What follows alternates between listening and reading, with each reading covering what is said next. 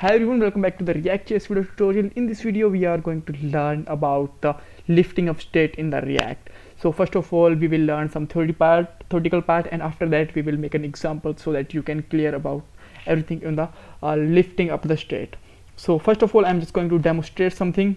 Uh, so let's say uh, you have the two components here uh, in the React, A and B. Okay, so which is the A and this is the b component. So when you just you what you want actually? When you're just going to change in the a then it will automatically reflect in the b and vice versa also all right so basically it could be like this. So when you just change on the a it will reflect on the b and b to a. So uh, in the parallel communication in the react is little bit little bit difficult uh, as compared to child to parent communication. So to resolve this problem you can make a one more component which is the p component and this is the parent component. So what actually you do you will be change the everything inside this component and they will be reflect to a and b. So when you just change in the a then it will be going to in the p and then it will uh, just uh, updated the b through the p component. And same thing is going to be like this. So this is called the lifting of state you just uh, lift up the state a and b into the p component all right so this is the all about the concept. So now let's start with the code. So first of all you can see that uh, I have a component. So I'm just going to make a child component also. So I'm just going to make a child component here. Let's say child all right so in this component I'm just going to make a input box. So I'm just going to write here input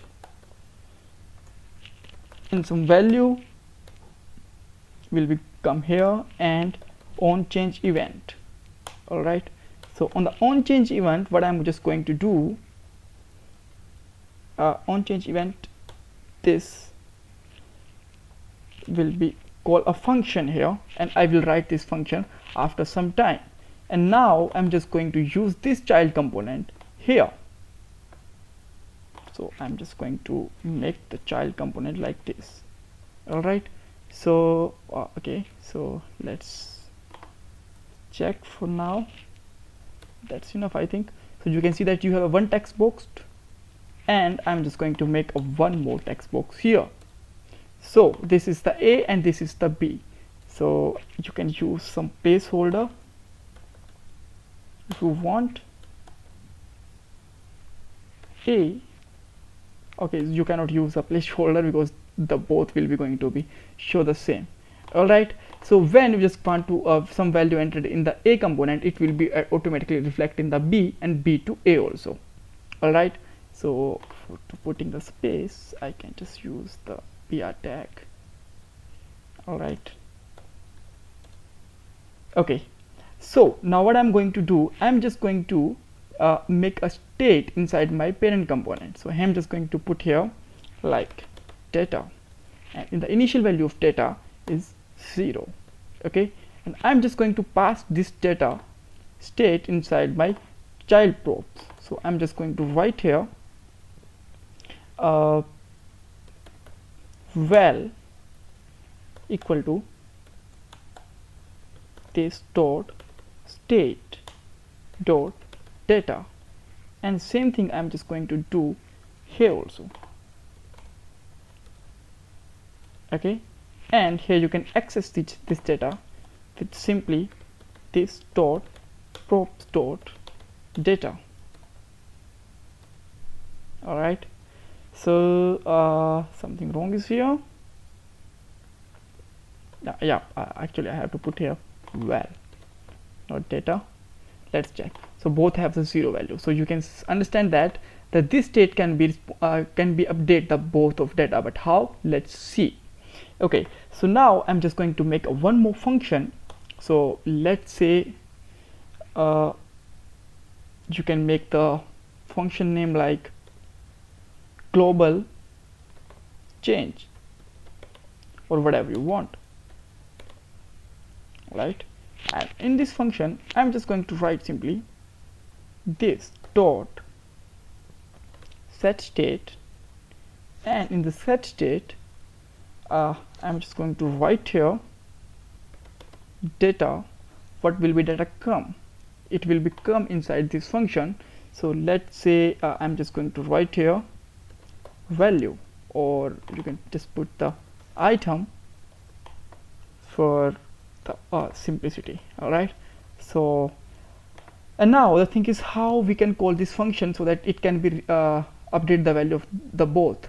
So this function should be called from the here from the child so that it can be update here because here we cannot have the change event but here we have a change event all right so the more simplicity i'm just going to pass the one more uh, thing which is the uh, global change. This is my props name. And here I'm just going to write here this dot props name dot bind. And here I'm just going to simply add this. Alright so now you can access this function inside the child component. That's fine. So because uh, you can say that this is the simply child to parent data transfer. Okay? So now there is uh, some final steps are here.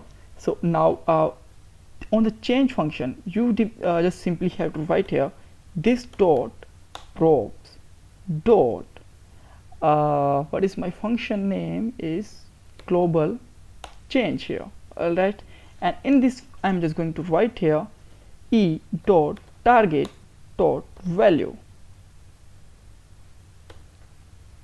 just get it in the next line so that it can be look nice here. So now you can see that whenever you're just going to change here you can be are able to see the change on the both values all right so this is the simplest way. So uh, for uh, once more if you want to understand the proper way then you have to uh, you need a child com parent component. Inside the parent component you can access your uh, child component and you can make it here. And here you have to pass the two things. One is the value parameter which is the state of current and second is the function. And this function will be called by the child. All right? So in this function we just pass the targeted value which is the changed here and this value will be called go, go inside the parent component and change the state. And this state is passed inside the child component as a value props. All right? So this is the simple simplest way of uh, lifting up the state. And if you want to just go inside the react document um, yeah react.js lifting up state uh, lifting state up. So it will be little, little bit complicated. If you are just come here then you will see that there is a long documentation. But uh, I think I just provide a simple way and uh, if you have any kind of confusion related to it then you can ask me in the comment box. Don't forget to subscribe the channel. All right so thanks for watching this video. Bye bye